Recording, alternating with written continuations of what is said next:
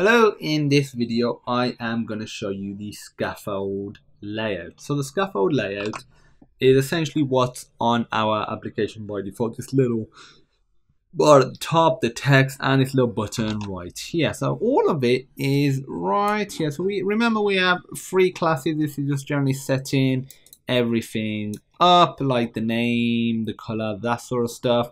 This is just a stateful widget and this is the home page and this is what you know the home page looks like. This is where we'll do you know most of the logic code you know what we're displaying etc and the actual body of it goes in here and we've been doing that in separate videos. So feel free to take a look at the widget videos gesture videos all that stuff and all of that a lot of time will be inside here but what I, what I want to explain all the little aspects right here so we got this little title what happens if we was to remove it as you see, that title disappears. So this app bar, so if we remove the app bar, is the bar at the top. So if you don't want that, that's what you do. You literally remove it. And that color is set from the primary swatch right here. And I covered that in one of the earliest videos in this series. Feel free to take a look at that. It's the app base code video. Okay, so widget.title, this is getting it from so it's getting it from here and ultimately it's getting it from this. So if we don't want that, so maybe, you know, if we click a button, it will change the widget.title. We can change that. So we could just put hello instead. So it says, you know, something different now.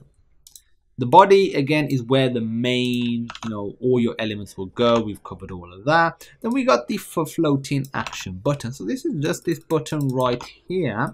And on pressed, it just does underscore increment counter, which is this method right here. Takes no parameters, has nothing's been set in.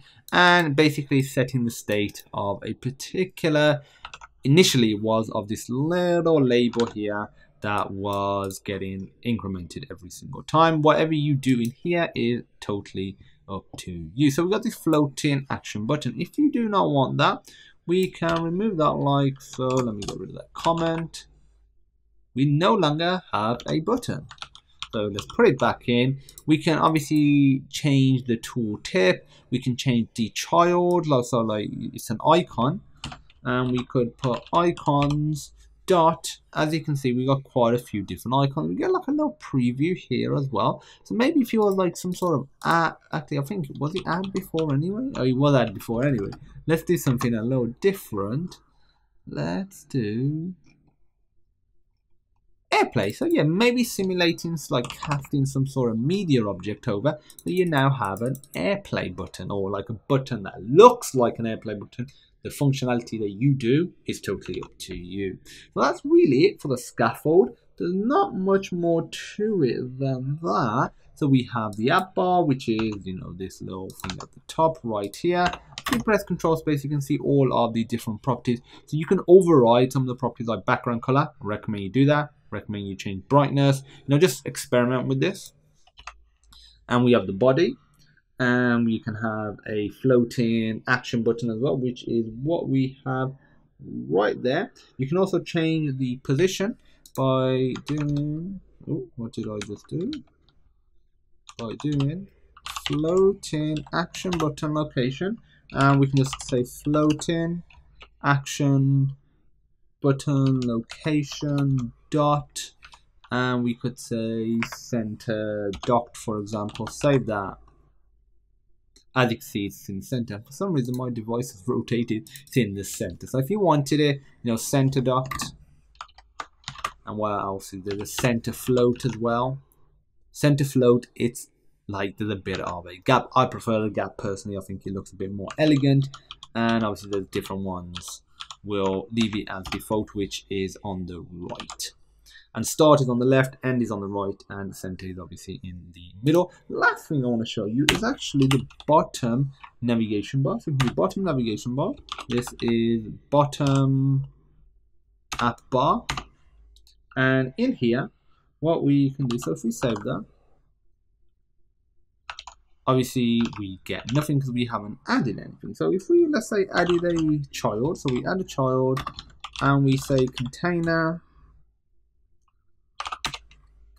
and all I'm to do in here is set the height property to let's say 50.0 this should be a nice value. As you can see we have a bottom and banner you can override different properties such as the decoration. You can modify the color that way. You can add a child there. It could be some sort of button.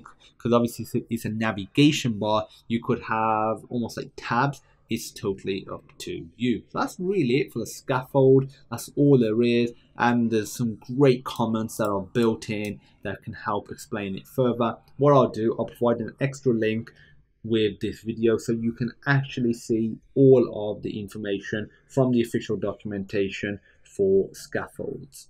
If you have any questions though, feel free to pop me a message. And as usual, I look forward to seeing you in the next video.